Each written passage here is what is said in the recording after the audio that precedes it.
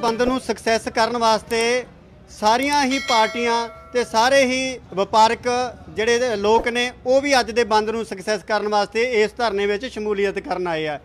Punjab photographer association ਵੱਲੋਂ ਵੀ ਬੰਦ ਦਾ ਸਮਰਥਨ ਦਿੱਤਾ ਗਿਆ ਸੀ। ਅੱਜ ਇਕਾਈ ਬਾਘਾਪੁਰਾਣਾ ਵੱਲੋਂ ਚਰਨਜੀਤ ਸਿੰਘ ਜਿਹੜੇ ਇਹ ਬਾਘਾਪੁਰਾਣਾ ਬਲਾਕ ਦੇ ਪ੍ਰਧਾਨ ਹੈ ਫੋਟੋਗ੍ਰਾਫਰ ਐਸੋਸੀਏਸ਼ਨ ਦੇ, ਉਹ ਸਾਡੇ ਨਾਲ ਅਸੀਂ ਉਹਨਾਂ ਨਾਲ ਗੱਲ ਕਰਾਂਗੇ।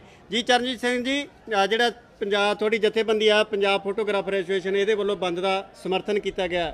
ਤੇ ਅੱਜ ਬਾਘਾਪੁਰਾਣਾ 'ਚ ਤੁਹਾਡੇ ਸਾਰੇ ਆਏ ਨੇ ਸਮਰਥਨ, ਸਮਰਥਕ?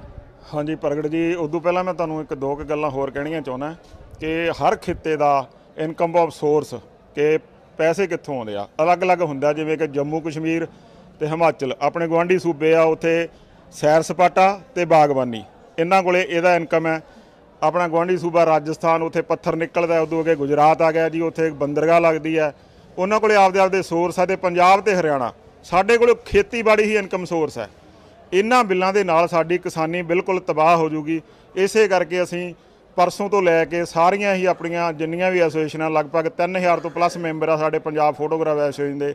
ਬਾਗਾ ਪੁਰਾਣਾ ਦੇ ਆਸੇ-ਪਾਸੇ ਜਿੰਨੇ ਵੀ ਪਿੰਡ ਲੱਗਦੇ ਆ ਬਲਾਕ ਪੱਧਰ ਤੇ ਸਾਰਿਆਂ ਨੂੰ ਅਸੀਂ ਸੱਦਾ ਦਿੱਤਾ ਤੇ ਸਾਰੇ ਦੇ ਸਾਰੇ ਹੀ ਬੰਦ ਕਰਕੇ ਦੁਕਾਨਾਂ ਇੱਥੇ ਖੜੇ ਆ ਕਿਉਂਕਿ ਕਿਸਾਨੀ ਹੈ ਤੇ ਵਪਾਰ ਹੈ। ਜੇ ਵਪਾਰ ਹੈਗਾ ਤਾਂ ਸਾਰਿਆਂ ਦੇ ਬੱਚੇ ਪਲਦੇ ਆ ਨਹੀਂ ਤਾਂ ਸਾਰਾ ਕੁਝ ਹੀ ਮਿੱਟੀ ਆ। ਜੀ। ਥੈਂਕ ਯੂ ਇਹ ਸਨ ਚਰਨਜੀਤ ਸਿੰਘ ਪੰਜਾਬ ਪ੍ਰੈਸ ਫੋਟੋਗ੍ਰਾਫਰ ਇਕਾਈ ਬਾਘਾ ਪ੍ਰਾਣਾ ਦੇ ਪ੍ਰਧਾਨ, ਜਿਨ੍ਹਾਂ ਨੇ ਕਿਹਾ ਕਿ ਸਾਡੇ ਸਾਰੇ ਸਾਥੀ ਅੱਜ ਦੇ ਇਸ ਧਰਨੇ ਵਿੱਚ ਸ਼ਮੂਲੀਅਤ ਕੀਤੀ ਹੈ, ਜਿਹਦੇ ਕਰਕੇ ਕਿਸਾਨੀ ਡੁੱਬੇ ਨਾ, ਕਿਸਾਨੀ ਬਚੇ ਤਾਂ ਵਪਾਰ ਬਚੂਗਾ। ਇਹ ਕਹਿਣਾ ਹੈ, ਚਰਨਜੀਤ ਸਿੰਘ ਹੋਰਾਂ ਦਾ, ਜਿਹੜੇ Punjab photographer association block Bagha Purana ਦੇ ਪ੍ਰਧਾਨ ਨੇ, ਕੈਮਰਾਮੈਨ ਅਮਨ ਕੋਲੀਆ ਦੇ ਨਾਲ ਪ੍ਰਗਟ ਸਿੰਘ ਰਾਜਿਆਣਾ, ਪੰਜਾਬ 10 ਨਿਊਜ਼ ਟੀਵੀ।